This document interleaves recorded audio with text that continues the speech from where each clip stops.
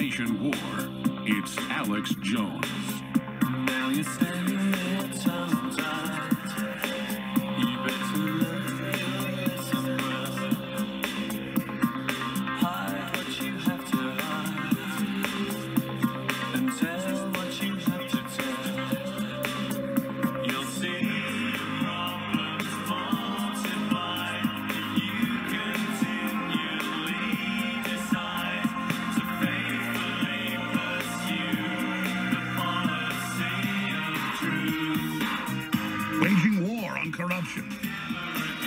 The lies, and disinformation.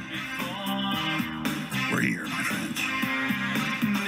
It's it's it's hard once you start playing this Depeche Mode song to turn it off. Especially this part coming up towards the end. Powerful.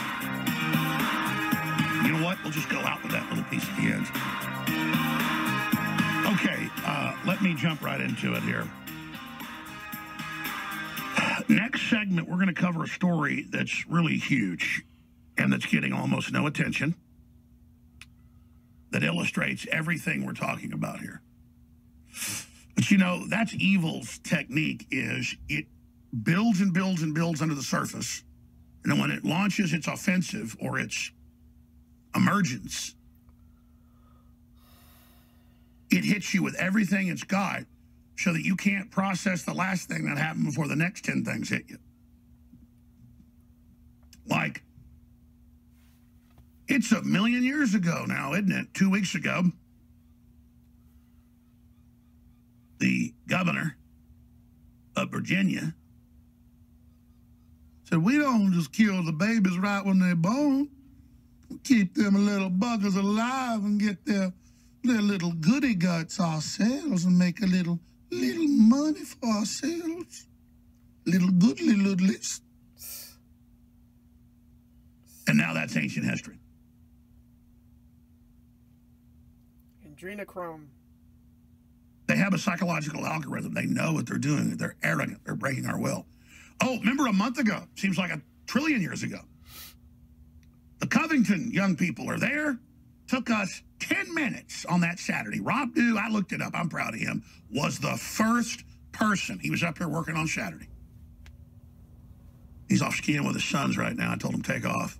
So he left for four days to go skiing. He's a great skier and snowboarder. I see his little kids do like backflips and stuff. It's like, wow. Anyways, um, he was up here on Saturday. I was up here on Saturday. I left at like five o'clock, and then he saw the footage about seven, and he said, "Hey, I'm tweeting about this." I went and found the raw video. They go start the fight with them. These crazy black Israelites are saying all this racist crap. And I said, "Great job. This is going to be big. I'll cover it tomorrow." By the next day, it was. But it took four days to get mainstream media to spin it and call it jump to conclusion. It was just a native being nice, and the kids were nice as the. No, it was a bunch of racist, leftist, Soros scum coming over, and these kids were so pure and so nice, they just thought it was a football dance or a rugby dance and got into it. I'm hungry. And the left then projected all their crap and all their lies and all their BS onto them. And then you just go back and you go back and, and, and you get it's, it's like Senator Menendez. We played the clip yesterday. He goes, Trump is outrageously evil and racist. He says that migrants that are involved in drunk driving are criminals. So you're here illegal and you're a drunk driver, but that's not criminal.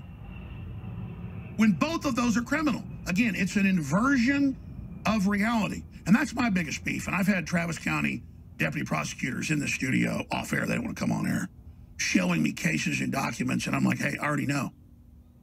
Years ago, where illegal aliens will drunk drive and wreck, and the judge lets them out on $10 fines because, oh, you're a poor illegal alien. Yeah, they got a job and they got welfare. They're driving a brand new Chevy Silverado.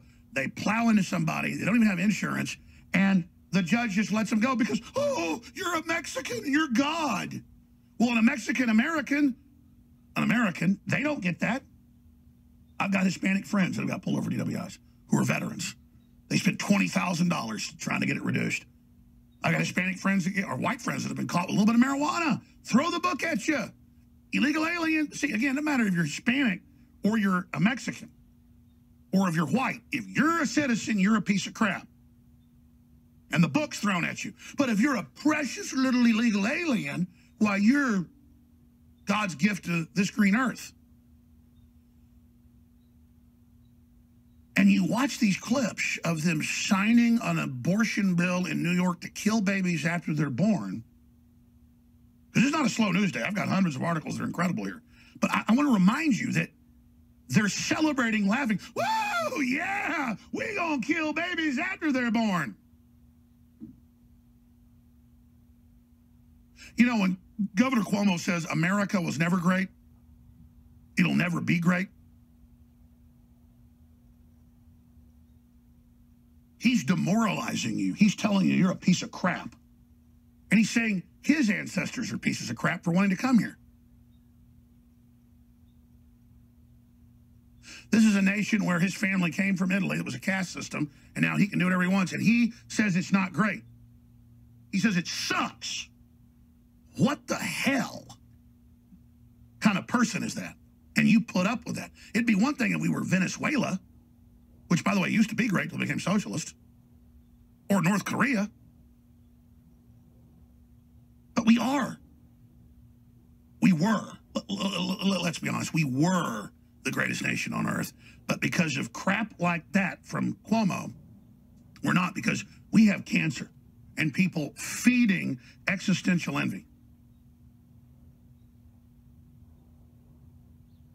I mean, these people are dangerous scum. They signed a bill where now a woman was stabbed to death this weekend. I went and read the police report. It was in the New York Post. Stabbed over 30 times. Imagine the hate 20 times in the abdomen, slit her throat, stabbed her in the face, neck. He's charged with murdering her, but not with his own baby that was going to be born in a month.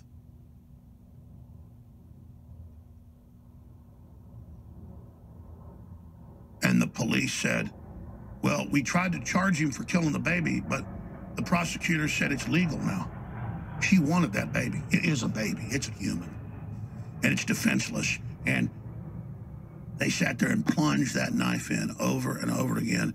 And that person murdering his own child doesn't get charged with it.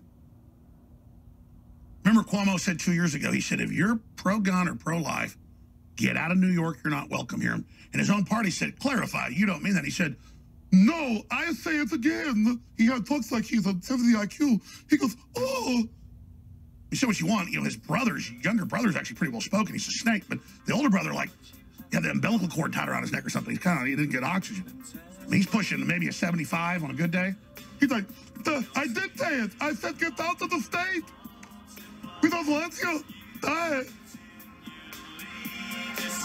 And it's just like we're ruled by this sack of garbage who celebrates publicly pissing all over the dead bodies of babies. That's what he does. He unzips his pants. Hi. I don't believe the globalists are that smart. Stupid that we have this information and that if they shut me down, it's shut down when these pieces of crap are executing this information in front of everybody. Do you know why there have been layoffs at more than 20 major leftist fake news publications, from BuzzFeed to Newsweek to Vice? Why did it all happen this week? Why